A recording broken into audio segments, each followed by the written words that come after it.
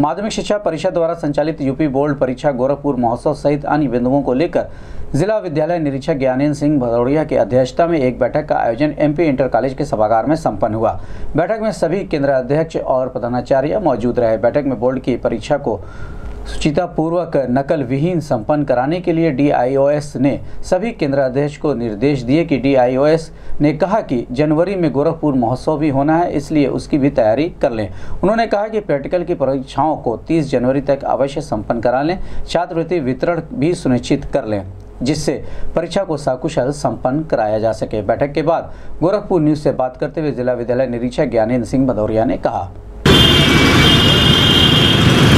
कहीं परीक्षा देने से रोकने जा न ही हमारे मन कोई मंशा है केवल साथ जो भी परीक्षा होगी उसके जो तैयारी करेंगे और तो हम लोग ये कर सकते हैं कि अपने आप ब्लैक बोर्ड पर उस कॉपी का एक नमूना बनाकर तो, तो एक बार संबंधित शिक्षक वहाँ पर भर के दिखा देंगे तो शायद उनसे वो त्रुटियाँ नहीं होगी क्योंकि एक परसेंट केस ऐसे भी रहते हैं कि वो नंबर ही गलत रहता है जिसकी वजह से उनका अंक जो है प्राप्त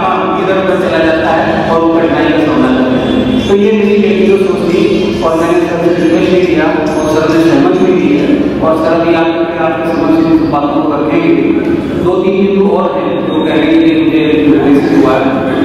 एक तो गोरखपुर महोत्सव, जो कि ग्यारह बारह और तेरह जनवरी को आयोजित है। पिछले तीन वर्षों से जहाँ तक मुझे याद दो वर्षों का मुझे स्मरण है, लेकिन जहाँ तक मुझे याद तीन वर्षों से गोरखपुर महोत्सव चल रहा है। और उसमें हमारी आपकी सबकी प्रतिभाता तरीके से होती है, चाहे वो सांस्कृतिक कार्यक्रम हो, चाहे वो खेल कूद की गतिविधियाँ हों तो उसमें हमको प्रतिभागिता करनी है। यद्यपि मैंने सर से निवेदन किया कि वो तिथियाँ ऐसी हैं कि हम अपने यहाँ होम एग्जामिनेशन और इस प्री बोर्ड परीक्षा में पूरी तरह से तत्पर रहेंगे।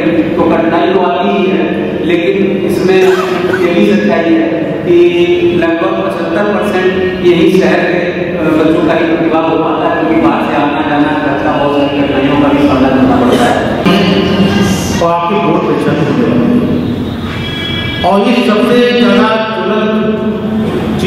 सामने हैं।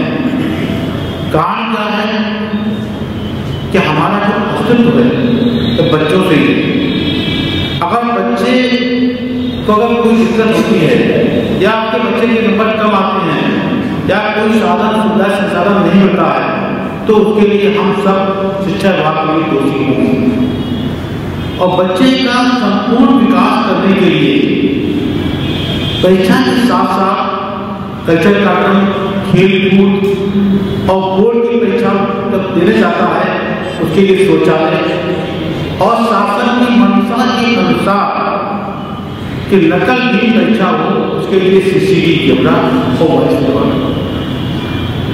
मेरा सौभाग्य है कि मैं गोरखपुर जनपद के का डियावत में। यहाँ के हमारे जितने प्रधानाचार्य हैं, या जितने प्रबंधक हैं, सब बहुत ही ज़्यादा कोऑपरेटिव हैं। पिछले साल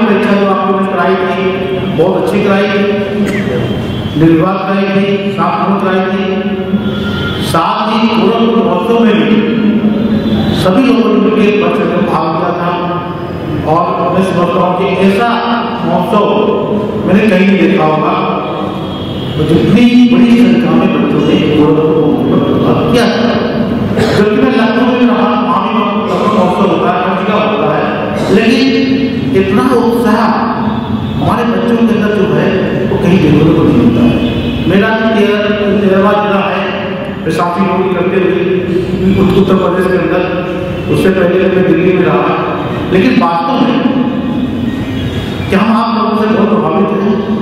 और इसीलिए मैंने देखिए जल्दबाजी में मीटिंग बुलाई। और एक व्हाट्सएप में मैसेज डाला और लगभग सारे यहाँ पर उपस्थित हुए हैं। क्या निर्देश दिए गए बोर्ड परीक्षा की तैयारी के संबंध में?